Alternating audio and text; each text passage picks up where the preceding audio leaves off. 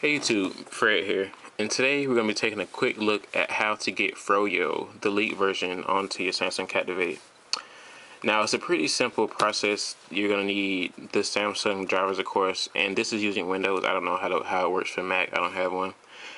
But you're going to need the Windows drivers for your Samsung Captivate, and you're going to need the Odin Flasher file, which is the way the Froyo is actually put on the phone. So once you get everything downloaded, you're gonna want to take your phone and you're gonna have to turn it off, and then you plug it in to the computer. Well, actually, first you're gonna want to open up the Odin Flasher and run it as administrator. You're gonna open it up, and then once you plug in your phone, you're gonna get a yellow little pop-up, and it's gonna say COM and whatever number you get. I have five. I've seen four and six. So there's no specific number that should pop up, but that should pop up. You should be able to see the yellow.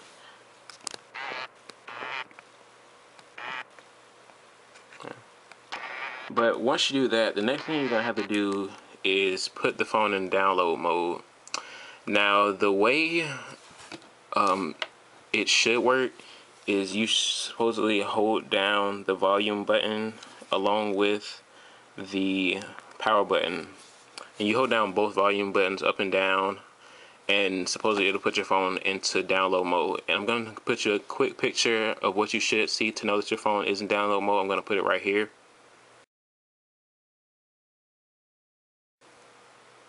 So if you see that picture then you can just go ahead and click the start button right here the bottom of Odin of the Odin flasher you can go ahead and click the start button and your phone will be upgraded to Froyo. Now before you click that start button I would recommend that you go ahead and back up any of your contacts back up um, any apps you may want to have on the phone once you are updated to Froyo because they most likely will get erased. Um, that happened to me and I just thought I would put that in as, as a disclaimer. but um, if you're having a problem getting your phone into download mode using the normal method of holding down both volume buttons along with the power button, which is the problem I've had, then if you downloaded the Android SDK, it's another way that you can get the phone put into download mode, and it's a surefire way to get it going without having to try it over and over again because I was getting a bit frustrated when I tried it. So what you're going to want to do is open up the command prompt window, search for CMD in the Windows menu, and then hit run as administrator. Now what you're going to want to do is navigate to wherever you have your um, Android SDK located. Now once you downloaded the Android SDK, you're going to want to go ahead and unzip it, and I recommend unzipping it to the SD not to the SDK, unzipping it to the desktop because I'm going to put a string of command below that you can just copy and paste into the command prompt window and it'll get you straight to the folder that you need to get to. But if you don't have it in your desktop, then you're going to have to change a couple things in it. But it's still not that hard. So what you're going to want to do is uh, type in and navigate to wherever you have the folder. I have it on the desktop. Android-SDK-Windows. And you're going to navigate to the Tools folder.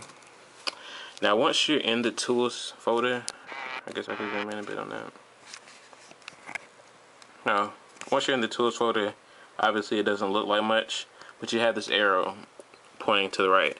Now what you're going to want to do to get your phone into um, download mode is you're going to type in ADB space reboot space download.